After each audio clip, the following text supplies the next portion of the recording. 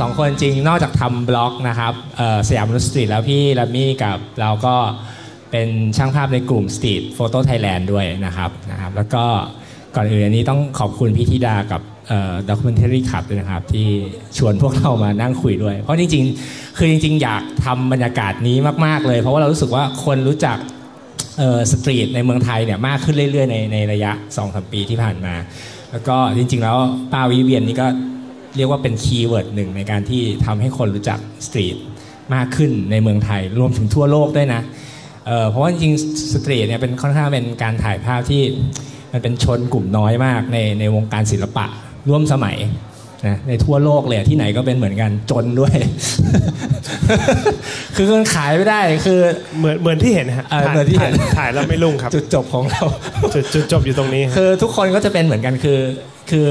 คือไม่ว่าเราจะถ่ายภาพแนวไหนก็ตาม มันก็จะมี Shutterstock มีนู่นนั่นนี่ขายได้หมดอะทุกแนว landscape นู่นนั่นนี่ street ขายไม่ได้ไม่มีใครไม่มีใครซื้ออะพูดก็ง่ายก็ต้องต้องวกกลับมาว่าคำว่า street คืออะไรโอเค ผมแนะนำก่อนผมแรมมี่นะครับแรมมี่นุลาเป็น street photo street photographer อยู่กับ Street Photo Thailand ก็ครับก็อยู่กับซันครับแล้วก็หลังๆก็ทำพอดแคสต์อ่าของ Siam Street Nerd ครับ ที่ซันเขาเป็นคนก่อตั้ง ครับก็มีทำพอดแคสต์ด้วยกันอยู่ ครับถ้ามีใครสนใจอยากจะฟังเรื่อง street ก็ก็มาหาครับฟังกันครับ ได้ อืม ก็เราปูนิดนึงก่อน เพราะว่าก่อนที่จะไปคุยกันเรื่องวิป้าวิเวียนเนี่ยอินใช่อินกันนะใช่เราผมว่าเราอยากจะแบบชวนคุยกันเรื่อง street ว่ามันคืออะไรเอาพระ เอาว่า street คืออะไรก่อนดีกว่า เออเพราะว่าเมื่อกี้ที่ถามไปว่ามีใครถ่ายรูป street หรือเปล่า ไม่ค่อยมีคนยกมือเลยอาจจะอายไม่กล้ายกมือ แต่ว่าถ้าเอาว่าสตรีท สตรีทคืออะไร คือการถ่ายรูปในที่สาธารณะอืมโดยไม่จัดฉากอืมถ่ายตามที่เห็นอืมถ่ายตามที่เราเห็นอืมคือเราไม่ได้เป็อันนโพสอันโพสไม่จัดฉากอ่าไม่ไปบอกเขาว่าต้องทำอย่างงู้นนะทำหน้าทำอย่างยังนี้ไงนะทำตามอ่าคือถ่ายตามความเห็นของสังคมอ่าจริง แล้วเอ่อประงานประเภทถ่ายรูปประเภทเนี้ย สุดเพราะท้ายมันด้วยมันจะมีอีกอันหนึ่งคือเออต้องมีความครีเอทีฟสำหรับสำหรับเรานะอ่าต้องต้องต้องมีความครีเอทีฟคือรูปมันต้องไม่ใช่แบบอ่าถ่ายแบบมีมีมุมมองที่เป็นมุมมองโต้งๆเลยมุมมองส่วนตัวของเราถ่ยตงๆอย่างนี้มันก็อ่าทีนี้เราเราสำหรับเราคือพอพอถ่ายไปมากๆเรารู้สึกว่าภาพ street เนี่ยในมุมมองเรานะคือจะมีคนถามเยอะมากคำถามนี้ว่า การถ่ายภาพสารคดีภาพภาพข่าวกับภาพ street มันต่างกันไง เรา สำหรับเราก่อนเรารู้สึกว่าการถ่ายภาพ street เนี่ยมันเหมือนกับเอามุมมองของคนถ่ายเป็นที่ตั้ง เราจะเห็นเลยว่าเอาอย่างป้าวิเวียนจะเห็นชัดว่า แกเอามุมมองตัวเองเป็นที่ตั้ง เป็นที่ตั้งเลยคือไม่ใช่เอา fact เป็นคนเห็นแก่ตัวเออ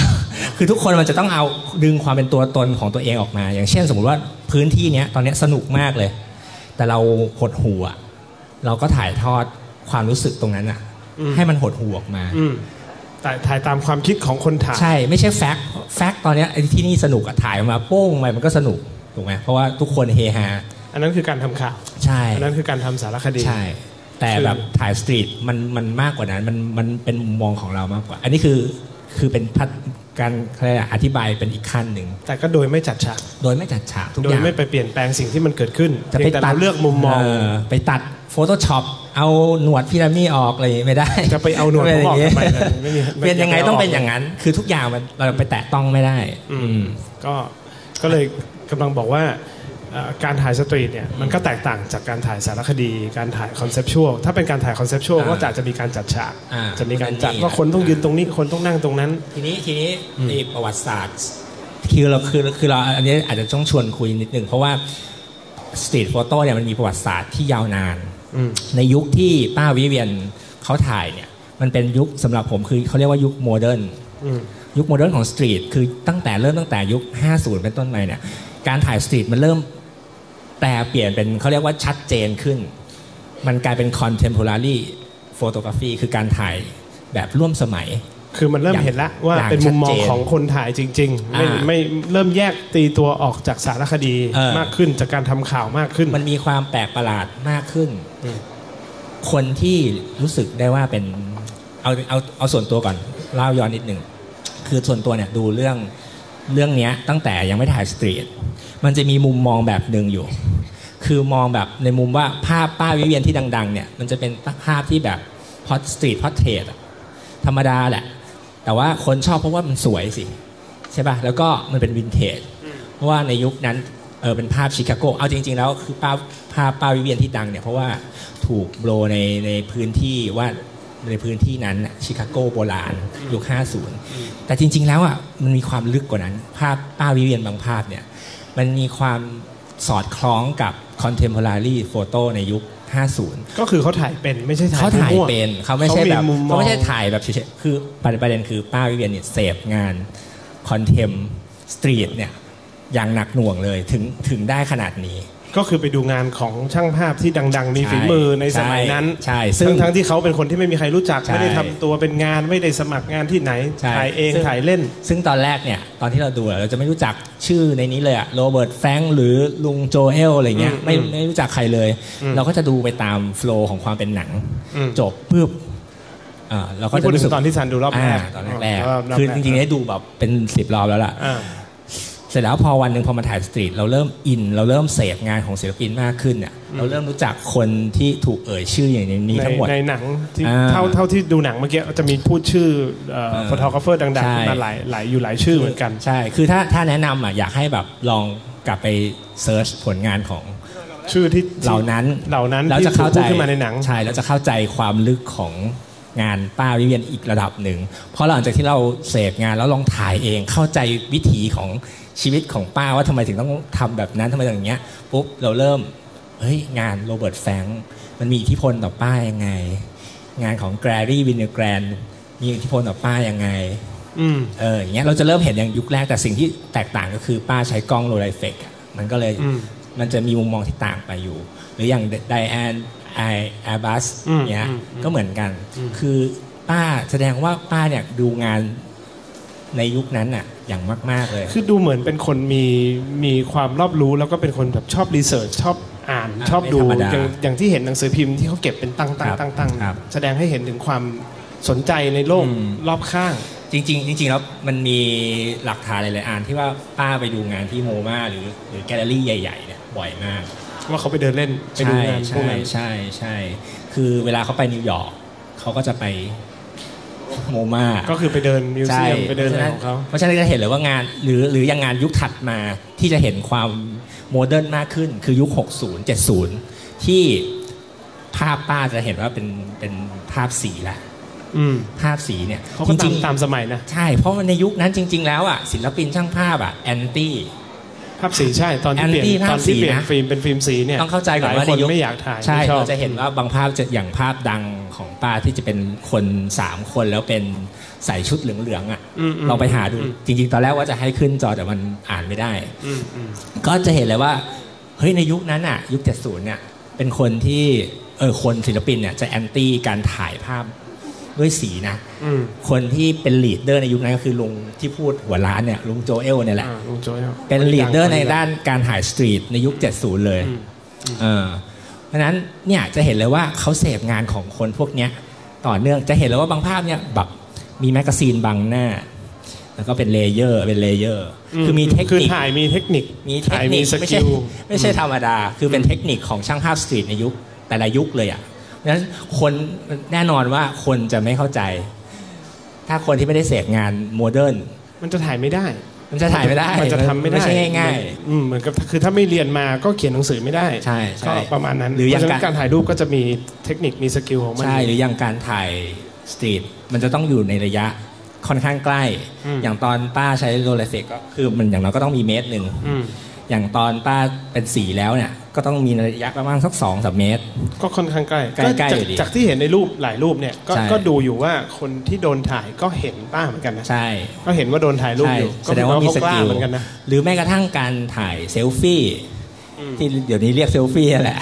มีการสะท้อนกระจกต่างๆ เนี่ย ก็เป็นงานที่ศิลปินในยุค modern ทั้งหลายทำเหมือนกัน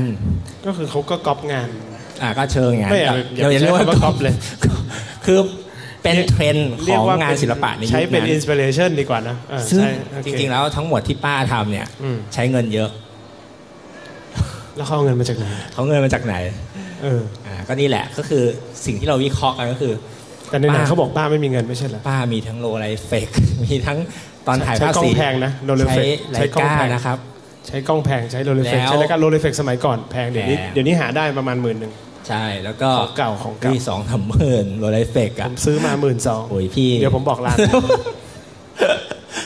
แล้วตอนถ่ายถ่ายภาพสีก็จะใช้กล้อง Leica Leica สามอ่าซึ่งมันก็ถือว่าอะอาจจะตกรุ่นในยุคนั้น แต่ก็ยังแพงอยู่ดีแหละ อ่า ประเด็นอีกก็คือใช้ใช้ฟิล์มสีอีก อ่าฟิล์มสีสมัยก่อนเนี่ยฟิล์มสีก็ล้างยากเขาใช้แล้วแพงเขาใช้ Kodachrome อืม ซึ่งก็คือตามสมัยเลยตามศิลปินช่างภาพยุคนั้นแหละเขาก็ใช้ Kodachrome กันแปลว่าเขารู้เรื่องหมดนะรู้เรื่องหมด รู้เรื่องหมดแน่นอนแต่สรุปว่าตังค์ตังค์ที่เอามาใช้จ่ายเรื่องพวกนี้ทั้งหมด หลังจากคือคืออะอย่างโกดาโคมสมัยนั้นก็คือถ่ายเสร็จก็ต้องส่งแลบล้าง เออแลบซึ่งก็แพงเออแน่นอน เพราะฉะนั้นไม่ธรรมดา ตังค์ป้าเนี่ยหมดไปกับเรื่องพวกเนี้ยทั้งหมดเลย ก็คือที่ทำงานเป็นแนนนี่เป็นผู้ผู้ช่วยดูแลเด็กอ่า ตามบ้าน เงินทั้งหมดที่ก็ได้น่าจะมาหมดไปจากอย่างนั้นแหละ ก็คือมาหมดกับตรงนี้ เออเออทีนี้เราก็เราก็เหมือนกับเราก็วิเคราะห์กันนะนะว่าเฮ้ยทำไมถึงป้าถึงอะเขาเรียกอะไรอะมีอาชีพเลี้ยงเด็ก เพราะสตรีทมันไม่มันไม่มีตังค์ปะใช่ใช่ใช่ พูดแล้วเหมือนเล่าชีวิตเออตัวเองนะเหมือนไม่ชีวิตรันทดคือคือตอนแรกยังไม่คิดอะไรแต่ว่า มีช่างภาพคนหนึ่งซึ่งก็ก็มีถูกกล่าวในในที่นี้เหมือนกันก็คือ Garry Winogrand อะ Garry Winogrand เป็นช่างภาพชื่อดังในยุค 50 เนาะวันนั้นนิวยอร์กอยู่นิวยอร์กอ่านิวยอร์กช่างภาพ street ส่วนใหญ่เนี่ยจะอยู่ถ้าฝั่งอเมริกานะครับก็คือจะทำงานอยู่ในนิวยอร์กทีนี้ Garry Winogrand เนี่ยก็เหมือนกันคือเขารักในการถ่ายภาพ street มาก จนเขาเคยถ่าย commercial ถ่ายอะไรหมดมาหมดแหละแล้วเขาก็ไม่เอาคือเขารู้สึกว่าเขารับไม่ได้อืมเรียกว่ารับไม่ได้ไหมวะรู้สึกว่าไม่ชอบอะเออไม่ชอบเขาก็เลยหางานที่จะทำยังไงให้ตัวเองได้ถ่าย street คุณเออคุณไหมคุณเพราะว่าเพราะว่าผมก็ทำแบบนี้อยู่ เออ เพราะว่าการถ่าย street มันต้องใช้เวลาเดิน มันต้องมีอะไรมาสปอนมีสปอนเซอร์ตอนกลางวันเวลาแล้วก็ต้องมีเงิน มีเวลาที่เราจะหมดไปกับมัน ต้องมีเวลาพูดสำคัญอันดับหนึ่งคือต้องมีเวลา ต้องมีเวลากับมันกลางวันเดินแหลกเลย Garry Winogrand เขาเลยอาศัยสอน วันไหนไม่สอนก็เดินถ่ายอ๋อเป็นครูเป็นครูแทนอ๋อได้ไอเดียแล้วอ่านะพรุ่งนี้พรุ่งนี้เราส่งซีวีเออแต่สุดท้ายเขาว่าเขาก็จนอยู่ดีตามมหาลัยเออก็จนอยู่ดี แต่คือจะเห็นว่าคนที่ชอบถ่ายสตรีทอะต้องหาเวลาให้มันตัวต้องเองมันต้องไปมีถ่ายเวลา แล้วป้าวิเวียนเนี่ยจริงๆแล้วมีคนบอกว่า วันวันหนึ่งอะ เขาเดินน่าจะเป็นสิบไมล์สิบไมล์นี่คือตกประมาณ 16น่าจะเออเกือบยี่สิบโลอะต่อวันหนึ่งจุดหกถูกป่ะอ่าหนึ่งจุดหกศูนย์เก้าเออเกือบเกือบยี่สิบกิโลต่อวันน่ะเดินเยอะนะเพื่อจะถ่ายรูปอะเดินเยอะอย่างลุง Bruce Gilden ก็เดินวันละสามสิบโลเดินเยอะคือคนถ่าย street ต้องเดินเยอะมาก เพราะมันต้องเดินไปหาเหตุการณ์ เออมันต้องเดินทีนี้งานอะไรมันจะแบบ เพอร์เฟกต้องไปที่อันตรายอันตรายด้วยป่ะไม่ไม่เกี่ยวถ้าไปที่ไม่อันตรายรูปไม่สวยเออไปที่อันตรายไม่เกี่ยวเหมือนในป้าคนเขาไปเยสอะๆลัมไปอะไรอ่าๆเดินเข้าตามอาจจะซเป็อกนควาตามมชซออบยความชอบเขาความชอบ แต่ก็คือประเด็นก็คือเขางานอะไรที่มันจะแบบเขาเรียกว่าฟิตกับกับการถ่ายสตรีทได้ขนาดนี้ เลี้ยงเด็ก พอเช้าปุ๊บไปส่งเด็กเรียนหนังสือ อืมกว่าจะมารับกลับอ๋อ โอ้โห กี่ชั่วโมเวงลาเวลาอยู่ตรงนั้นอ่าใช่ได้ปะ หลายชั่วโมงเหมือนกันนะ แล้วอีกอย่างหนึ่งจริง ๆ แล้วสมมติมุมมุมมองในคนถ่ายสตรีท อืม subject เด็กอะ อืม work เออถูกปะหมายว่าเด็กที่เขาเลี้ยงอะนะ อ๋อเขาถ่ายเขาถ่ายคนที่เขาเรียนด้วยอ่าอ๋อใช่ใช่ถูกปะก็เหมือนกับถูกปะก็คือถ่ายอยู่อยู่กับเด็กก็ถ่ายใช่รูปเด็กไปด้วยใช่ใช่แต่สมัยถ้ารูปรูปที่เห็นก็จะมีรูปเด็กใช่ๆที่ใช่ เขาเลี้ยงอยู่ค่อนข้างใช่เยอะเหมือนกัน แต่สมัยนี้ก็จะมีเรื่องปัญหาเรื่องเด็ก ซึ่งซึ่งไม่ควรถ่าย หลายอย่างมันไม่ได้นะอ่แต่ตามกฎหมายแต่ในสมัยนั้นก็คือเนี่ยเราจะเห็นว่าการ movement ของเด็กหรือการแสดง คือการถ่ายภาพ street มันเหมือนแบบ ต้องดึงอิโมชัน a ลของคนจังหวะอืมโมโมโมอะไรนะ moment ที่ที่ดีๆอะอืมสำคัญมาก ยังจะมีอยู่ช่วงหนึ่งที่เขาเล่าในรูปที่ที่เด็กคนหนึ่งที่เขาเคยไปเลี้ยงเนี่ยเคยเล่าให้ฟังว่าป้าจะมีแบบจัดฉากจับคน บอกให้คนยืนอย่างนี้ทำหน้าอย่างนั้นอ่าคือคือแสดงว่าเขาเข้าใจนะอืมอืมว่าเขาอยากได้อารมณ์อืมบนรูปอ่าแล้วก็คือจะเห็นว่าจริงๆแล้วงานของอืมป้าเนี่ยไม่ใช่ว่าเป็น street pure อย่างเดียวนะ คือจริงๆแล้วอย่างที่บอกอะว่า งานถ้าเราเห็นแรกๆของงานป้าเวียนที่ดัง ๆ ที่เราเห็นอะเป็นอืม street portrait ซะด้วยซ้ำ อ๋อเดี๋ยวเดี๋ยวเขาวกกลับมาเมื่อกี้ที่บอกว่า streetทไม่มีการจัดฉากำเออกำลังจะบอกว่าป้าเนี่ยมีบ้าง มีมีมีคืองานเขาไม่ได้ street pure อย่างเดียวเขาไม่ street pure แต่ว่าสุดท้ายก็เรียกเขาว่า street photographer เพราะว่าเขาเดินอยู่บนถนนแล้วเขาถ่ายรูปบนถนน ใช่ มันคือสตรีทพอ r เทรตสำหรับเรา มันก็มันก็มีจังหวะที่แบบมันก็คือเน้นเรื่องการพอ r เทรตก็คือเขาทำอะไรที่เขาชอบว่างั้นเถอะแต่ประมาณ street photo เนี่ยจริงๆอะคือการที่แบบจับจังหวะที่เกิดขึ้นจริงจริง ๆ ในจังหวะนั้นอืมมากกว่าดังนั้นจะเห็นว่าจะเห็นลองไปสังเกตบางภาพแบบมันจะเป็นแบบ เราชอบมากเลยรูปแรกๆ มันจะเป็นแบบ มีคนจัดหน้าร้านแล้วก็แบบแทนที่จะเห็นทั้งตัว ก็เห็นแค่ตึ้งครึ่งตัวเนี้ยแล้วกำลังดึงดึงผ้าใบข้างบนอืมแล้วมันเป็น layer ไงคือจังหวะ movement คนมันดีมาก หรือแบบจังหวะที่แบบมีผู้ชายคนหนึ่งที่แบบถือลูกโป่งอืมแล้วก็มีเลี้ยงน่าจะลูกหรืออะไรซึ่งเงี้ยถ่ายด้วย Rolleiflex นี่ถ่ายยากใช่อ่าแล้วลูกโป่งบังหน้าเขาพอดี ถ่ายยาก เพราะมันจังหวะเออมันต้องโอ้โหกว่าจะจัดโฟกัสได้กว่าจะดูกล้องใช่กว่าจะอะไร ซึ่งมุกอย่างเงี้ย มุกอย่างเงี้ยมันก็คือมันมาจากตั้งแต่ยุค modern อะเออเขาใช้กันเยอะใช่ตอนนั้นมีใช้ใช่อืมอะไรอย่างเงี้ยคือมันจะเป็นเราเราดูงานจะรู้ว่าเขาได้รับอิทธิพลจากเยอะแบบ Elliott Erwitt อะไรเงี้ยมันทางมากเลยอะมันมีความตลกอยู่ในหน่อยๆอะไรอย่างเงี้ยเรามาถามคำถามที่สำคัญกันดีกว่าอืมว่าอืมป้าเนี่ยจริง ๆ แล้วเขาอยากให้คนอื่นเห็นงานเขาหรือเปล่าอ่าโหอันนี้พอยเลยเราต้องถามคำถามนี้ เพราะว่าในในเรื่องก็ดูเหมือนสรุปไม่ได้เหมือนกัน แต่แต่เออแต่ใช่ ตอนแรก ๆ เราก็คอยตามคือหนังเรื่องเนี้ยค่อนข้างจะเปิด ว่าเขาถ่าเออเขาเขาเปิดให้คิดว่าสรุปแล้วป้าอยากได้อะไรกันแน่ใช่ถ่ายไปใช่ เพื่ออะไร ใช่สำหรับเรานะอืม เราดูมาแล้วก็พออินน่ะเดินถ่ายไปเยอะๆเนี่ยอืมเราคิดว่าป้าอยาก ประเด็นคือออยากอะไรพูดให้จบเอ้า โอเค โอเค ไม่เคลียร์ เดี๋ยวกระซิบแล้วก็จบแค่นั้นเอาให้จบประโยค โอเคโอเคคือ เพราะอะไรคือด้วยความที่เอาเอาเอาหลักๆก่อนเราเนี่ยอะพอถ่าย street มากๆ เราศึกษางานมากๆเนี่ยเราศึกษาประวัติศาสตร์ การถ่ายภาพ streetอืมค่อนข้างเยอะอืมค้นพบว่าการที่คุณจะโด่งดังได้เป็นศิลปินในยุคนั้นเนี่ยอืมข้อที่หนึ่งก่อน คุณต้องทำงานเป็นช่างภาพอาชีพ ที่เกี่ยวพัน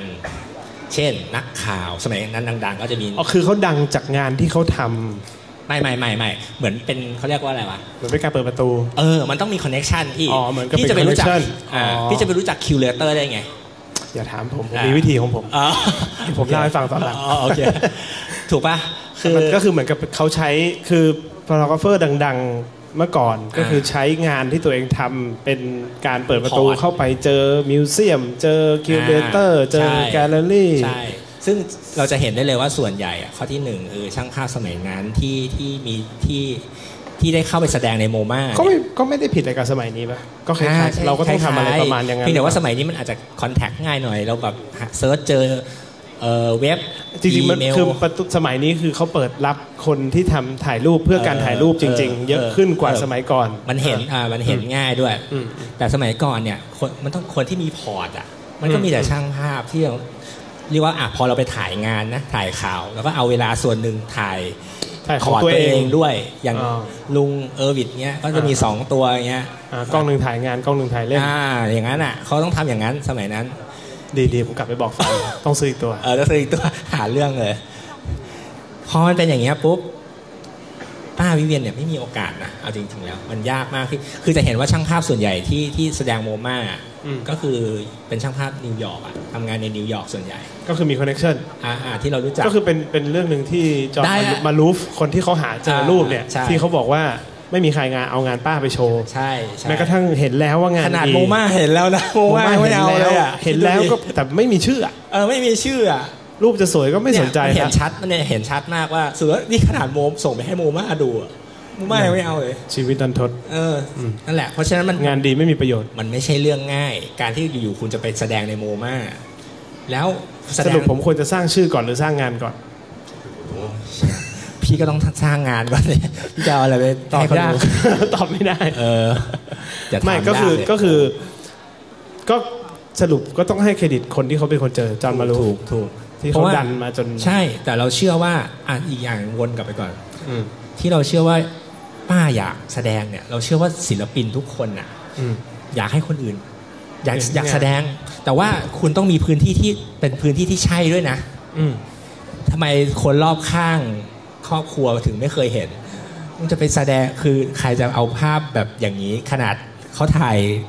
ถังขยะยังไม่เข้าใจเลยอะนึกออกปะใช่ก็จริง เออเออก็คือก็คือประมาณว่าคนรอบข้างไม่เข้าใจหรอกไม่ก็เลยเข้าใจไม่ได้เอาคนให้คนรอบข้างดู จะสังเกตว่าเขาซีเรียสเรื่องงานอย่างที่บอกว่าเขายังเขายังจดหมายไปหาแลบ ที่ฝรั่งเศสคือมันมีมันมีหินอยู่บ้าง ว่าเขาอยากเอางานเขาออกมาแสดง เพราะว่าเราเห็นว่าเขามีส่งจดหมายไปกลับไปใช่ฝรั่งเศสใช่คือเขาต้องแล้วการมีส่งปริ้นส่งปริ้นคืออยากจะส่งงานไปให้คนที่ดูรู้เรื่องใช่เพราะเขาเข้าใจว่าไอ้คนปริ้นคนนั้นน่ะใช่ดูรู้เรื่องใช่แล้วยังมีเขียนบอกด้วยนะว่าเอองานเขาดีเออคือรู้ว่างานตัวเองดีรู้รู้ด้วยนะว่าถ่ายดีใช่คือใช่ไม่ได้แบบ ไม่ใช่แบบถ่ายไปมั่วๆแล้วก็ใช่ฟุกว่าวันหนึ่งมีคนไปเจอแล้วแบบเออ เออเอ้ยงานสวยดีไม่ใช่ คืคืออต้อง เขารู้ว่าเขาถ่ายเก่ง คือต้องเข้าใจอย่างหนึ่งด้วยอย่างว่าสมัยนี้มันเอ้ยสมัยนั้นอะมันทุกอย่างต้องปริ้นสมัยนี้มันสมัยนี้มันไอจีอะมันโพสต์ไปปุ๊บก็ได้เลย ไฟล์จากกล้องเชื่อว่าถ้าสมัยนี้ป้าได้เล่นไอจีป้ามีความสุขมาก ป้าคงป้าคงมี follower เยอะกว่า แน่นอน กว่าผมเออเอออันนี้จะหมดเวลายังครับเอาโอเคโอเคเดี๋ยวเราสรุปอ่าเราเราสรุปแล้วขอสรุปแล้วขออีกเรื่องหนึ่งคือเมื่อกี้ที่อยากจะอีกเรื่องหนึ่งที่เราจะกระโดดมาคุยกัน คือเรื่องที่ตอนเนี้ยเขามีการฟ้องกันอยู่อ่าอ่าอ่าว่าจอห์นมารูฟอะตอนที่เขาไปเจองานของป้าเนี่ยเขาไม่ได้เป็นคนแรกที่ไปเจอมันมีอีกสองสองคนที่ไปเจอ แล้วก็เขาก็ในตามที่เห็นในหนัง แล้วก็ตามในความจริงเนี่ยคือเขาก็เคลมว่าเขาพยายามไปหาญาติพี่น้องของป้าแล้ว แล้วเขาหาไม่เจอ ตอนเนี้ยตอนหลังเนี่ยผมไม่คิดผมคิดว่าหลังจากหนังเรื่องนี้นะผมจำไทม์ไลน์ไม่ค่อยได้เขาไปเจอญาติแล้ว แล้วเขารู้สึกว่าเขาเซตเทิลกับกับญาติคนนั้นไปแล้วว่าไม่เอา หรือหรือแบบตกลงจำนวนเงินบางส่วนอะไปละนะเอ่อแต่ล่าสุดเนี่ยมีทนายคนหนึ่งในอเมริกาเนี่ยโผล่ออกมาจากไหนก็ไม่รู้ แล้วก็บอกว่าไปเจอญาติที่สนิทกว่าอืมของป้าวิเวียนอืมอืมแล้วญาติคนเนี้ยอืม ต้องการอืมส่วนแบ่งอ่าแล้วตอนเนี้ยก็เลยขึ้นศาลไปแล้วนี่คือรู้สึกว่าเขาคือกำลังไกล่เกลี่ยกันอยู่เหมือนปัญหาพยายามจะไกล่เกลี่ยก็เป็นเป็นเหตุผลที่ตอนนี้เราจะไม่ได้เห็นงานของวิเวียนโชว์ โชว์เป็น exhibition เพราะ income ทั้งหมดตอนเนี้ยมันถูกมันเหมือนกับยังไม่รู้ว่าจะไปทางไหน เออเออไม่ได้ follow เหมือนกันแต่หนังสือมาห้าเล่มแล้วนะเอาแต่เหมือนหนังสืเหมืออนมาเยอะแล้วแต่เอ็กซิบิเหมือนแบบมีปัญหาเรื่องนี้ไม่รู้เหมือนกันนะคุณก็ไม่จบคุณคือเรื่องยังไม่จบก็สรุปว่าตอนเนี้ยแย่งสมบัติกลายเป็นกลายเป็นศึกเออศึกชิงสมบัติไปแล้วอ่าโอเคงั้นเราปิดท้ายกันด้วยว่าอะสุดท้ายคือเราก็คิดว่าป้าวิเวียนเนี่ยแกคงแบบจริง ๆ แล้วศิลปินทุกคนอยากแสดงงานในที่ที่ที่ที่ใช่สำหรับเขา คนดูเข้าใจสิ่งที่เขา เพราะฉะนั้นเข้าใจ อย่างตอนจบที่คนที่เขาเคยเลี้ยงบอกว่าถ้าป่านนี้ป้ามาเห็นอย่างนี้ป้าคงรับไม่ได้ ผมว่าไม่ป้าจริงรับได้ ใช่ เพราะว่าคนที่ได้เห็นคือคนที่เข้าใจ ใช่เป็นคนที่เขาเคยไปถ่ายรูปมาได้กลับมาดูรูปศิลตัวปินเอง ทั้งนั้นจริงๆแล้วศิแล้วลก็ปิเป็นนที่พูศิลปิดนที่พูดเนี่ยเชื่อว่าเป็นคนที่ป้าดูด้วย แล้วก็ศิลปินต่างๆ ที่ดูแล้วดูออกว่าเอองานถ่ายดีถ่ายจริง ใช่ เพราะฉะนั้นคือคนสุดท้ายขึ้นอยู่กับคนดูฮะอืม ว่าถ้าคนดูถูกอืม เราก็อยากจะเอางานเราออกไปหาใช่คใช่นดูที่เราชอบอืมอืมครับอืมเดี๋ยวครับได้ดูหนังเรื่องต่อไปคงครับไม่อยากฟังพวกผมคุยกันแล้วอยากดูเหมือนกันไม่ใช่อะไร ไม่เห็นมีเสียงเลยอยู่ต่ออยู่ต่อไม่มี ไม่เป็นไรครับ โอเคครับ ขอบคุณมากครับขอบคุณทุกมากนะครับแล้วเดี๋ยวก็เอนจอยกันต่ออีกเรื่องขอบคุณครับ